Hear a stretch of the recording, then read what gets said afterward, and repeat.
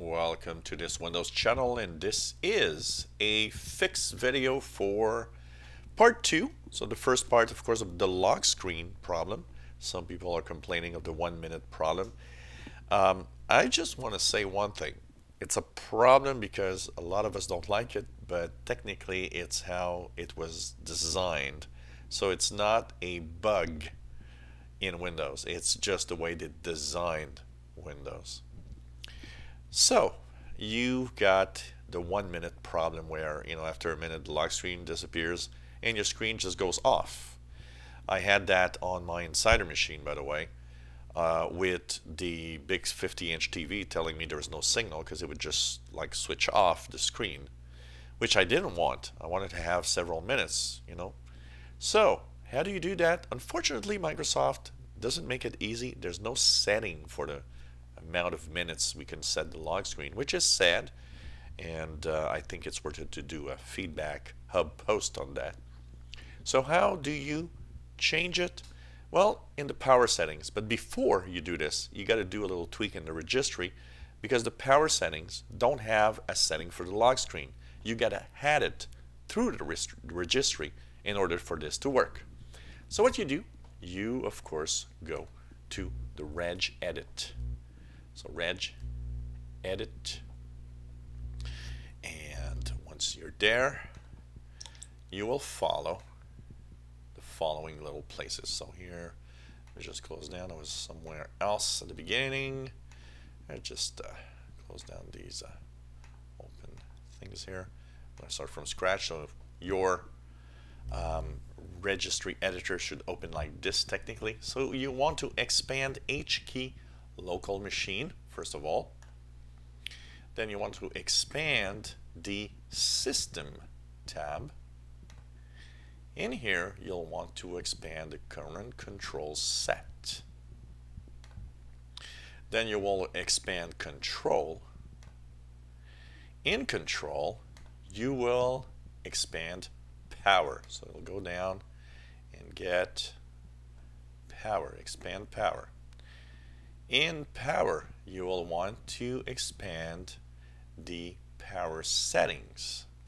And this is where it gets a little complicated because it's just little strings of characters. You'll take the one that starts with 7516B95. So let's go down.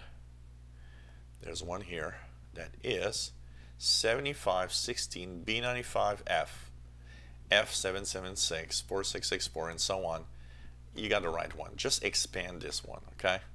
We all have it and we all have the same string of characters. Then there's a second string of character. This one you're not going to expand it. You're just going to click on it. And it's the one that is 8EC 4 uh, what is it? H 8EC 4B3A5. So this is the one you're just going to click on it. So here there's something that says attributes and it's set at 1. You will click attributes, then you will right click on it. You will modify this number, set it to number 2 instead of 1 and click OK.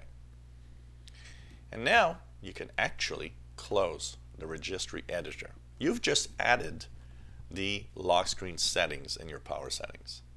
Now you want to go to the control panel, so just go to control panel I know it's complicated, but you know, sometimes Microsoft makes it hard for some things to really be there. In the control panel, you will go into power options. In the power options, you'll see that you have a plan that is set. Go to the right side of the plan and say change plan settings. And then you'll go to change advanced power settings. In here, you will go into something that is called display. And here you will have console lock display off timeout. Expand it. Look at that on battery and plugged in one minute. You'll click here and you'll change that say to 10 minutes or whatever amount of minutes you want it. If you don't want it to, ex to expire really, what you could do is just set it like to 360 minutes and it's just going to be like, you know, a, a, a whole pack of hours, you know, four hours, five hours, six hours, whatever. Uh, so put an amount of minute that you know that generally you're not there. But I want to just warn you about one thing. If you ever have a device that has the new OLED displays, the OLED displays have burn-in problems. So you might not want to set this too far ahead. You might want it to set like 5 or 10 minutes, nothing more than that. But at least put the amount of minutes you want. And uh, for regular LCD displays, it doesn't matter. You can set it to an hour if you want or two hours. Click apply, click OK. And you know what? Your lock screen will now time out after that amount of minutes that you just put in there. So that's how you do it. I know it's complex, but that should work. For those that the first video didn't work.